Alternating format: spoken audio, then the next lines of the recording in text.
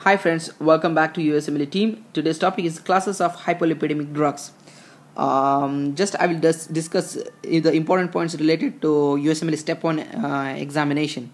So sit with me and um, you will definitely will go out with some knowledge and some experience or uh, some information that will help you for your uh, coming uh, USMLE step 1 uh, examination okay guys uh, before starting this i would request uh, you to subscribe to our channel. Our channel name is all on, none law. And uh, please tell your friends to subscribe because we need uh, we require your subscriptions. Okay? Please subscribe. Uh, statins we have a statins fibrates niacin then uh, the other drugs right? So just i will discuss briefly about this. Regarding the individual and the important drugs i will i have discussed in a different video.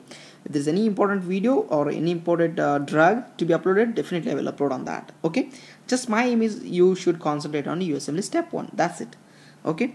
Uh, statins are particularly well su uh, suited for lowering ldl the cholesterol with the strongest links to vascular diseases. In studies using standard doses statins have been found to lower ldl so okay? So they can ask you which of the following drug is more effective in uh, reducing ldl statins fibrates niacin blah blah blah. Okay? Uh, depending on the specific okay there is a risk of severe muscle damage myopathy and rhabdomyolysis with the statins.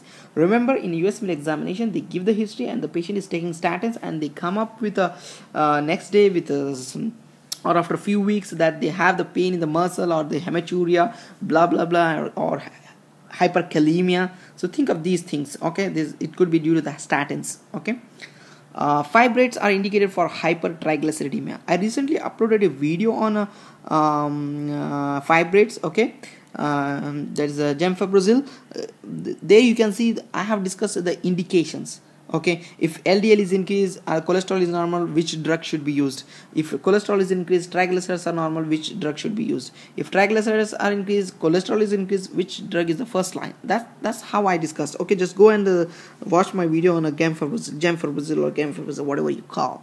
Okay fibrates typically lower triglycerides by 20 to 50 percent. Low level of the uh, good cholesterol HDL is also increased. Fibrates may decrease LDL, though generally to a lesser degree than the statins. Remember, this is a point you should know.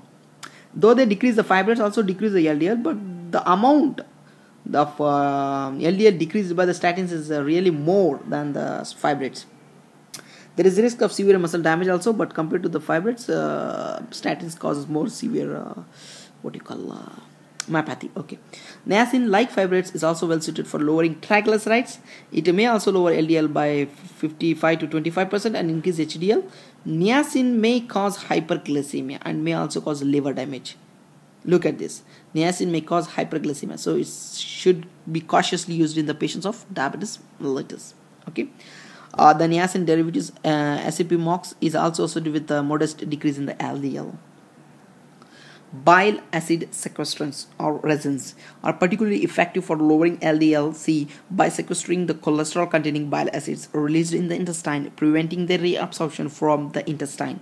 It decreases the LDL by 15 to 30 percent on and raises HDL by 3 to 5 percent. It has a little effect on a triglyceride but can cause a slight increase. Bile acid sequestrants may cause gastrointestinal problems and may also reduce the absorption of other drugs and the vitamins from the gut.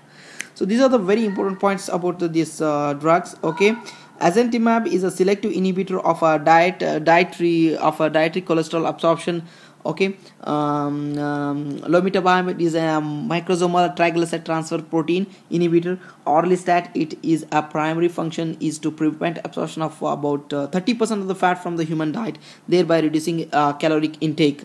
Is by inhibiting pancreatic lipase an enzyme that breaks down the triglyceride in the intestine. Okay these are the important points about the uh, classification of um, uh,